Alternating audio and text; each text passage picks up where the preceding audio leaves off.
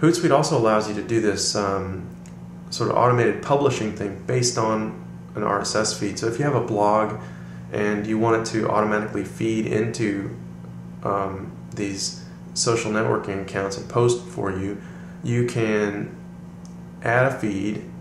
You just paste in the feed URL and you can define how often you want this to check for post. You can have it check for every 12 hours, every hour. Um, when new posts are found, tweet up to. You can specify one to five posts that it tweets at a time, include some of the post text. You can also add a prepend. Um, for example, they give you an example new blog post or news update, and then you get to select which profile, which social media account you want this to be posted on. So it's really flexible. You get to do a lot, um, you know, with that. Um, so let's go in and check out link statistics, and then we'll talk about automated posting a little bit, and then we'll kind of wrap things up.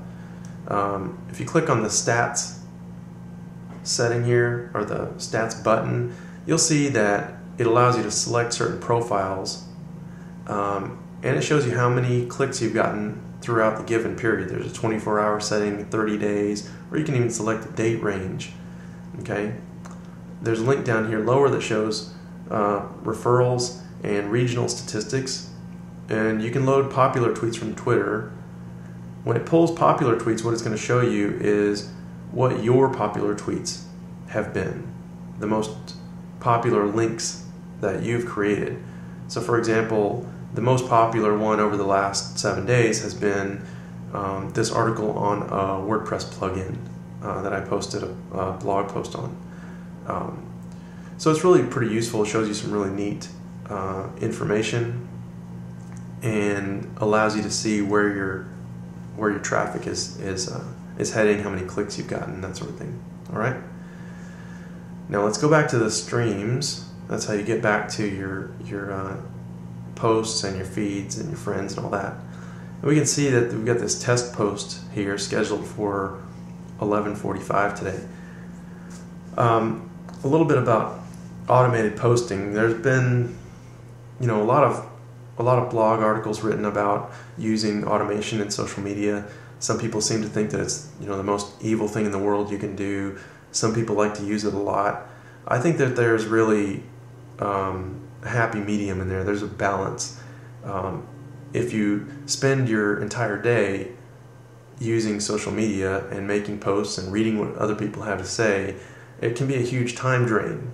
Okay, but at the same time, you're supposed to be coming across as a real person on social media. So you don't want to be too automated. You don't want to be too robotic. You want to make sure and carry on good conversations. But at the same time, you might not want to spam people with 10 links, you know, in a minute. So, you know, try to find what's good for you and your company, your brand, your your personality. Um, Hootsuite allows you to schedule some things for targeted times. Like if you're if you're targeting a, a blog post for you know for an Australian time zone, you go ahead and schedule one for the you know for what you think might be a good time during the day that uh, that an Australian crowd might be um, might be on. Okay, so um, you know Hootsuite gives you the tool to schedule your post but you have to make the determination what's going to be good for you and your situation. Okay. Now, real quickly, let's talk about this um, this Hootlet down here. Uh, you can see that it even shows you drag me into your bookmark toolbar. Okay. So I'm going to drag this thing up here into my toolbar, and I'm just going to let it say Hootlet.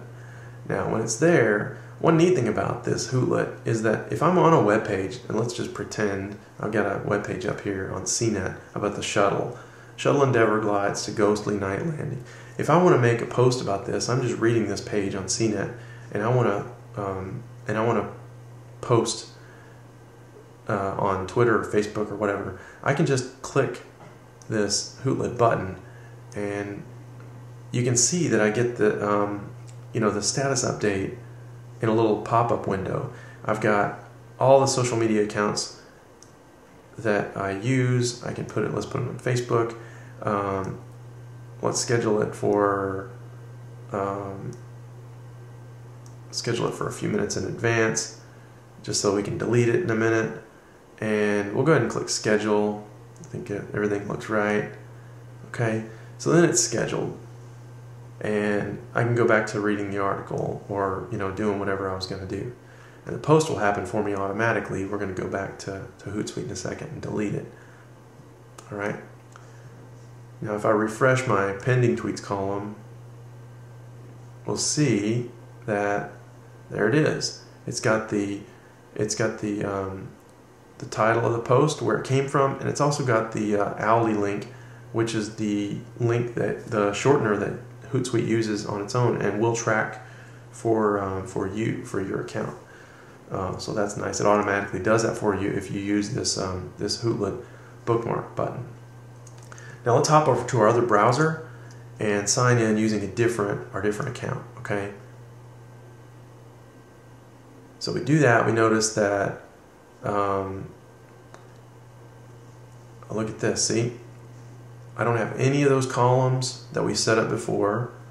Um, we don't have, you know, I don't have any authority to post to any social networks except for the one that I was, you know, gave privilege to this account.